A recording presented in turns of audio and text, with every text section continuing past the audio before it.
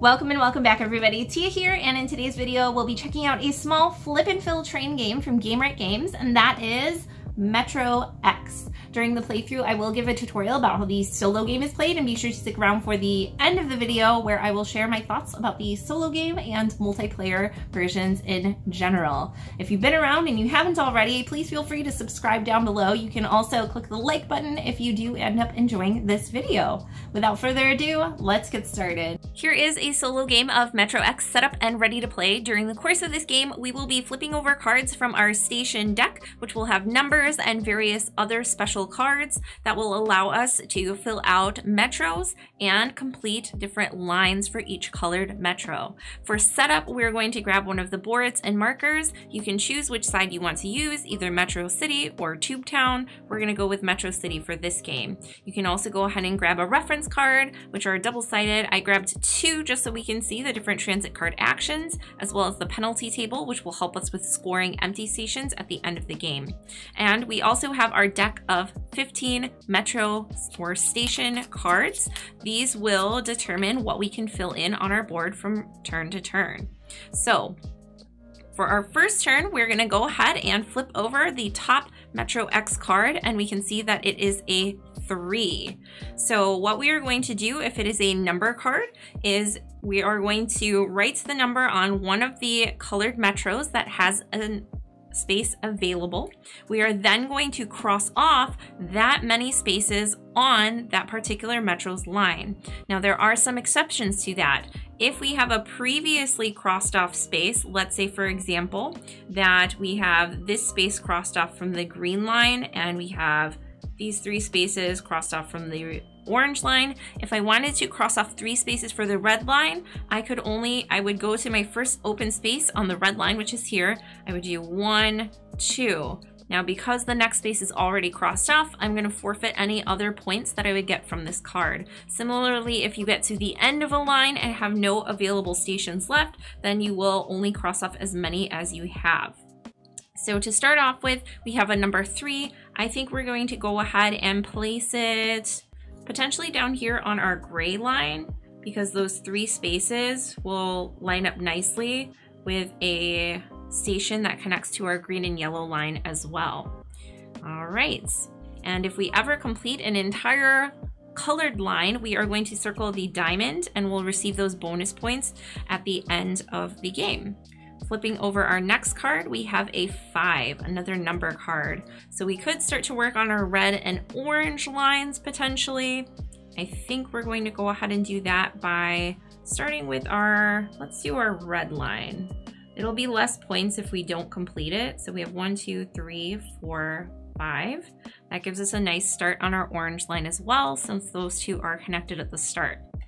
All right, now we have one of our special cards, which is a skip three. This allows us to fill out the first three stations in any color, um, and we can also skip over previously filled out stations. So in the example that I gave before, where we can only use two, we would be able to use our third after the cross out one for this case.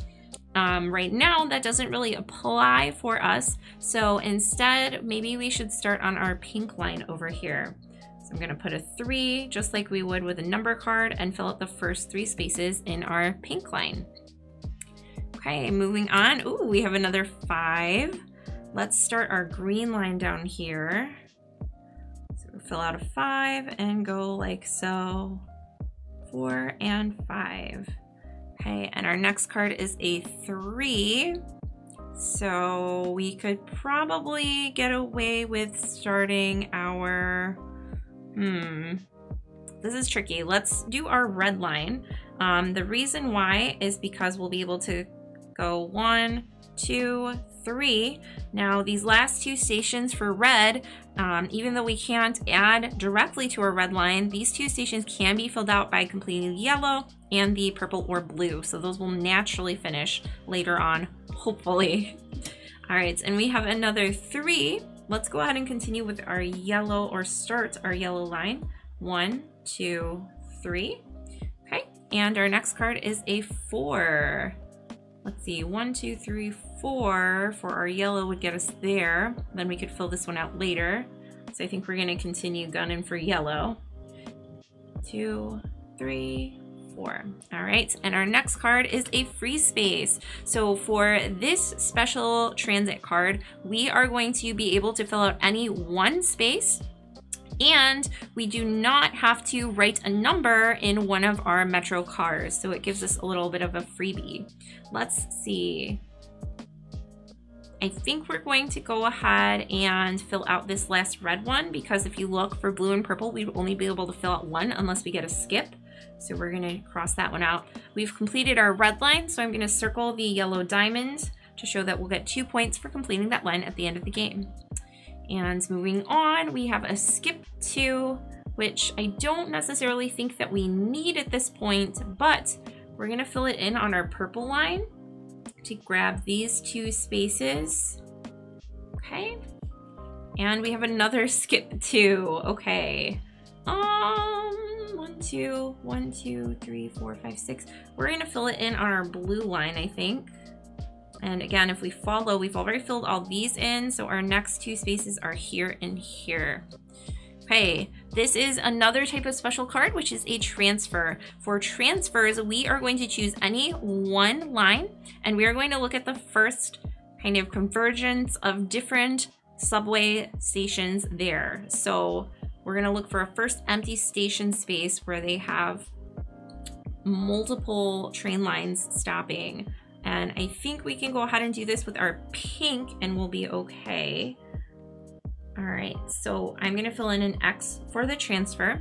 Now we're gonna look at the number of different colored lines, which we have orange, we have teal, and we have pink. We're gonna multiply that by two, so that is six, and we'll be getting six points for that transfer at the end of the game.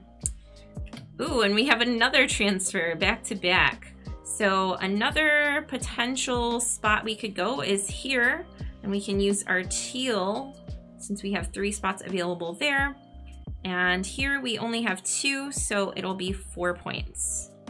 Okay, and this is our last special card, which is the six, and this will allow us to reshuffle the deck and get some more um, numbers back in here. So let's see if there's one where we can use all six, although that might be kind of challenging.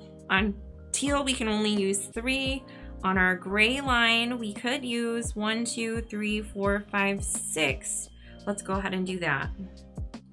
All right, so one, two, three, four, five, six. All right, excellent. And we're gonna go ahead and reshuffle this with our remaining cards to reform a brand new deck of 15. So like I said, the base game does come with the double-sided board of Metro City and Tubetown, which have some different routes and how they interact, which makes it interesting from game to game. This game is also available as a free print and play, um, so I'll put a link down in the description for the Board Game Geek files for that. We're gonna start our next round here with a three again. Um, so if you're interested in trying it out, you can definitely find them there. Even if you don't have a printer, this is a great one where you can just ha um, have even just a deck of cards with these numbers on it or something as a placeholder. And you can just have this on a tablet or what have you and just kind of fill it out digitally if you want to go that route. All right, we're gonna put this three down here with the teal so we can get these three random little boxes crossed out. And next up we have a five. Oh my gosh, this is very reminiscent of the first time of our first round here. One, two, three, four, five. Um, if we do five on purple, we'll have two left over that we can't complete. So I'm gonna try to wait to get some more here for purple and pink, although we only have one intersection with both. Maybe we can get a freebie and use it that way.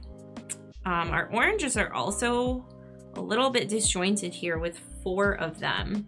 Um, but what I could do is do one and then two since we have two boxes left. Mm. Let's see where our green line is. One, two, three, four, five. We're gonna go ahead and fill this in on our green line since we have exactly five spaces left. So one, two, three, four, five. So we've completed the green line. So we'll fill that out. Unfortunately, we didn't get to use that last box there to our advantage. And the game will end once all of the car boxes are filled out. Um, we can put a transfer down. Let's see, are there any other transfer lines here or stations? Mm, We could just forfeit points on our purple station. I think we're gonna have to do that. Um, so we get four points for this. Okay, and moving on, we have another three here. So let's see, our blue line, we have one, two, and then three, four, so it's a little disjointed. Maybe we can get another pink, or oh, we can't get another purple. So that's a little unfortunate there. Um, instead, what we can do is we can finish our teal line, it looks like. Yes, since we have three left. So we'll go one, two, three. That will give us our bonus of four points for finishing the teal line. Oh my gosh, we have all these low numbers. Um, we might as well just use this three on our orange line to fill up that one space. And we have a four now. So we could use, we need a five to complete yellow or to get gray later on, which I think we'll be able to get. So let's put our four on our yellows. Um, we'll only be able to use three of them. Oh, wait, four of them since that connects. Oh, but then we need a freebie for the last yellow. Ooh, that probably wasn't the best move, but we'll continue on with it. We have another four. Okay, let's finish up our orange line here. So one, two, three, and then we'll circle the four. You have a skip three. That would be not the best for any of these. Okay, what do we have left? We have our blues. We could do one, two, three, but then we would be one short of completing our blue line. However, there's no skip four, so that might be our best bets. Um, we also can't fill in a green line, so I think we're gonna have to go blue. Oh no. So for the blue, we're gonna follow. We have one, two, and we're gonna skip to our next blue. Oh dear. Okay. And for the four, it is worth mentioning for the skip that you cross off or you skip over any previously crossed off stations, plural. So in that case, since there were two filled out, we got to fill in our X after on the first available space. For our four, we can put it on our gray line since there's only one left. Oh my goodness. And then for the pink, we'll just have to see what we get. One, two, three, four. Do we think we'll get a higher card than a four? We have six left. There are some smaller skips and some sixes. If we get a low number, we can put it in the green and just kind of waste that one. Um, but we don't want to waste the four if we don't have to. Two, three, four. Ideally, we'd get a six for pink, but it's not guaranteed. So I, uh, we're gonna risk it. We're gonna go ahead and put this four here and finish our gray line for six points. Hopefully we don't regret that. A skip two, no. Let's put that here on our green. Hopefully we get a freebie or this six reshuffle. No, just a two, okay. So here we have one, two, and because all of our metros are filled in, we are now going to go ahead and proceed to scoring. So the first thing we're going to do is add the points from any of our completed stations. Um, in the solo game, like I said, we're always going to circle the yellow diamond in a multiplayer game. Whoever gets it first will get the yellow diamond points, and anybody after that will get two point or the um, white square value in points. So we have 10, 15, 19, 21 points for those. We're going to add up any points for our transfers, just taking the sum. So we have 14.